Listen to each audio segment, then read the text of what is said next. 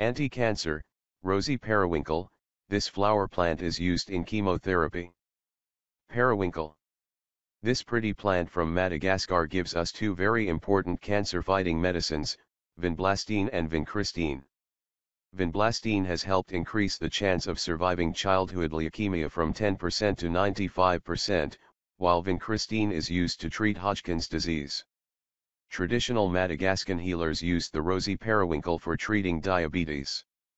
This led to its study by Western scientists who then discovered its anti-cancer properties. Profit sharing. These medicines have proved very profitable for global drug companies. Worldwide sales are worth over 75 million pounds a year, but virtually none of this money finds its way back to Madagascar, one of the poorest countries in the world. Some pharmaceutical companies are trying to redress this imbalance by working closely with ethnobotanists and indigenous healers, and sharing profits more equitably. There are also recent international agreements which have tried to ensure that more profits from the commercial development of animal and plant species return to the countries of origin.